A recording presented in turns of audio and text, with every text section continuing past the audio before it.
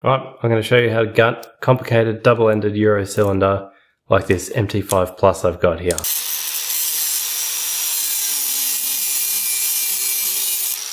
Now you just undo the vise and ta-da, that crap out. No one needs that anyway.